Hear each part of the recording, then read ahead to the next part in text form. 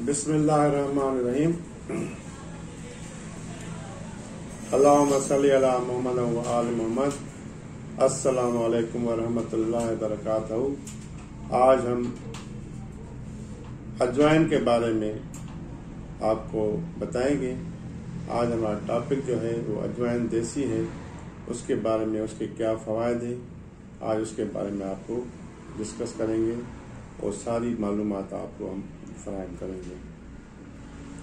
अजवाइन हर घर की ज़रूरत है और हर किचन में पाई जाती है। इसको अंग्रेज़ी में ओमन सीड्स कहा जाता है। और ये फालिज और ऐसा भी कमज़ोरी वाले मरीजों के लिए मुजरब है। अजवाइन के चंद दाने चबाने से के फ़ौरन रुक जाती है। अगर मुँह का जायका खराब हो तो अजवाइन के कुछ दाने चबाने से मुँह का जायका भी दुरुस्त हो जाता है। बिच्छू के काटने से अगर फौरी तौर पे अजवाइन का लेप कर दिया जाए तो उसमें आराम आ जाता है। अजवाइन को अगर शहद में शहद के हमरा खाया जाए तो चेहरा और हाथ पाँव की सूजन जो है, वो खत्म हो जाती है। पेट के दर्द और गैस और कब्ज की वजह से जो पेट में दर्द होता है, उसके लिए अगर आप अजवाइन और नमक दोनों को हम वज़न करके सफू बना के पीस के रख लें और तीन ग्राम आप सुबह और शाम इस्तेमाल करें।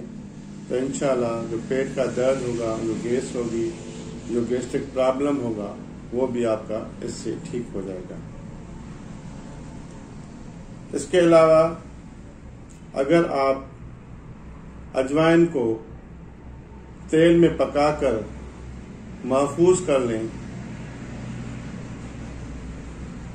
20 ग्राम अजवाइन 100 ग्राम तेल सरसों का, दोनों को आप किसी हल्की आँच पे पकाएँ और फिर वो पकाने के बाद उसको महफूज रख लें और जिस्म के अंदर, जोड़ों के दर्द के अंदर, जिसम के अंदर, बुखार की वजह से और भी जिसम की वजह से दर्द होता हो तो फौरी तौर पे लगाने से आपके जो दर्द होते हैं जिसम के, वो जिस्मानी दर्द खत्म हो जाता है।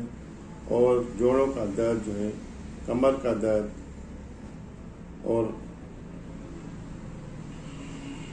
मसल्स पेन वगैरह भी इससे खत्म हो जाता है। अजवाइन एक ऐसी चीज़ है जिसके बहुत से फ़ायदे हैं, मगर इसको आप ज़्यादातर जो इसके फ़ायदे होते हैं, वो गैस ट्रबल की वजह से इस्तेमाल होता है गैस्ट्रिक प्रॉब्लम की वजह से पेट की दर्द की वजह से के की वजह से और जिसको हिचकी आती हो उसके लिए भी ये बेहतरीन अजवाइन जो है बेहतरीन पाई जाती है।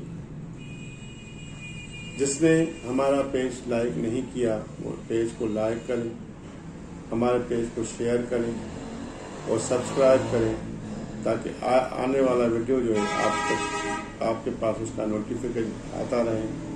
और अपनी दुआओं के साथ हमें याद रखिएगा। वमा अलैना बलाग।